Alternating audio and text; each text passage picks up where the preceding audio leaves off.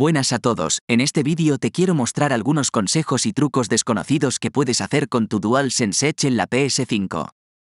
Son funciones realmente útiles que muchos desconocen, y te permitirán sacar el máximo partido a tu mando.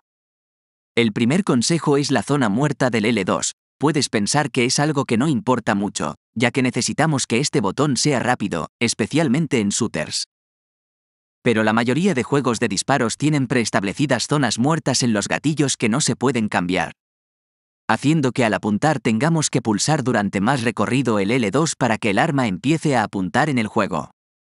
En cambio, si limitamos la zona muerta del L2 de 0 a 1 y ajustamos el recorrido del gatillo al menor posible, eliminamos cualquier tipo de restricción en el juego, haciendo que el apuntado sea prácticamente inmediato. Para hacer esto simplemente tienes que entrar en los ajustes de la PS5. En el menú pulsa en Accesorios. Ahora en la parte izquierda elige el mando inalámbrico DualSense Edge y en la parte derecha entra en Perfiles personalizados. Crea un perfil o entra en uno que ya tengas creado y ajusta la zona muerta de los gatillos. Aquí podrás establecer en el L2 desde 0 hasta 1, haciendo que el apuntado sea más rápido. Otro consejo es la personalización del joystick izquierdo. La mayoría de personas utilizan la curva predeterminada en el joystick izquierdo y solo cambian la del joystick derecho, especialmente si juegan shooters. Pero ajustar correctamente el joystick izquierdo da una gran ventaja a los propietarios del Edge sobre los jugadores del DualSense estándar en determinados juegos. Esto se debe a que la mayoría de juegos no te dejan ajustar la curva de respuesta del joystick izquierdo. Por ejemplo, en juegos de fútbol o deportes, o incluso en juegos de coches, cambiar la sensibilidad del joystick izquierdo nos dará ventaja al hacer movimientos más rápidos y más inmediatos. El siguiente consejo está relacionado con los limitadores de la zona muerta del gatillo R2. Mucha gente piensa que si lo establecen en 0 a 1 van a disparar más rápido, pero esto no es así. Es más, puede hacer que dispares aún más lento, esto se debe a que la mayoría de juegos de disparos competitivos tienen límites de tiempo para disparar en algunas armas. Ejemplo de ello son juegos como Fortnite, Apex Legends o Call of Duty. En estos casos, si disparas muy rápido, la mayoría de balas serán ignoradas, ya que la pulsación está por debajo del tiempo límite del juego. Mi consejo es que no establezcáis una zona muerta muy baja, pero sí acortéis el recorrido del gatillo, ajustándolo en la parte trasera del mando. El cuarto truco que puedes hacer con tu DualSense es que puedes silenciar todo el audio con tan solo pulsar un botón, incluido el micrófono. Tan solo tienes que mantener pulsado el botón de silencio que está situado debajo del botón PlayStation. Al hacer esto se silenciará todo el audio. También puedes mutear solo el micrófono, en este caso no lo mantengas pulsado, simplemente haz una sola pulsación y lo silenciarás. También puedes ajustar el volumen del juego utilizando los botones FN. Para hacerlo tan solo tienes que pulsar el botón FN y las flechas del pad para subir o bajar el volumen, y también el balance de audio con las flechas izquierda y derecha.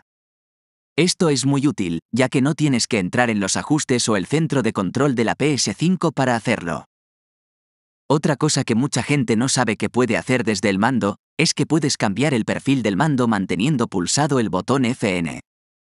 El DualSense Edge nos permite crear varios perfiles, pues simplemente pulsando este botón podemos cambiar entre uno u otro, sin tener que perder tiempo entrando al menú de ajustes. Otro consejo importante tiene que ver con el retraso de entrada del DualSense Edge. El mando tiene un retraso de entrada muy bajo si lo conectamos por cable USB, pero será mucho más rápido si lo conectamos a los puertos USB traseros o al USB tipo C frontal. Esto se debe a que estos tres puertos son USB 3.0 y consiguen mayores velocidades de transferencia. La conexión Bluetooth del Edge también es más rápida que la de un DualSense normal, pero si tienes un teléfono móvil, un router, altavoces o cualquier dispositivo magnético cerca del mando, puede crear interferencias, afectando a la latencia y provocando algún retraso de entrada. Por lo que mi consejo es que si puedes, juega con cable USB para tener el menor retraso de entrada posible. Es importante que si te decides por usar el DualSense Edge por cable USB vayas a los ajustes de la PS5. Entra en Accesorios. Elige Mando General en la parte izquierda. Y aquí le tenemos que decir que el método de comunicación es por cable USB. Una vez cambiado, si entramos en el centro de control de la PS5 deberías ver el icono de la conexión USB junto al mando. Esto significa que la conexión se está realizando a través del cable. El siguiente consejo está relacionado con la autonomía de la batería.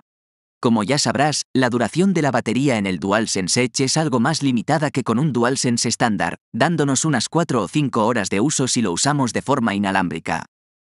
Puedes ajustar la vibración o los gatillos adaptativos para aumentar un poco la duración de la batería. Para cambiar estas opciones simplemente tienes que ir a Ajustes. Entrar en Accesorios. En la parte izquierda elegir Mando inalámbrico DualSense Edge y en la parte derecha podrás cambiar la intensidad de la vibración y la intensidad del efecto del gatillo. El siguiente consejo tiene que ver con la personalización estética del DualSense Edge. Hay varias aplicaciones en PC, como DS4 Windows o DSX, que nos permiten hacer muchos tipos de personalización en el mando.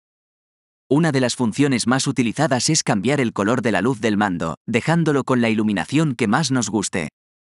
Lo malo es que esto solo se verá reflejado si jugamos en PC. Cuando conectemos el mando a la PS5 las personalizaciones desaparecerán.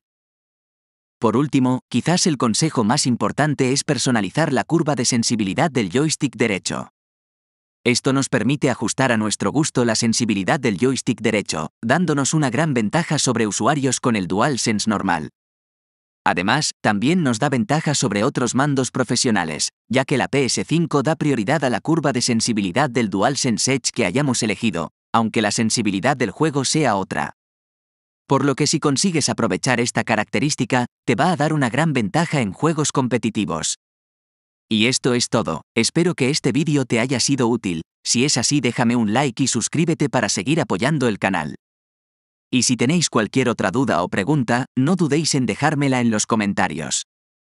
Hasta el próximo vídeo.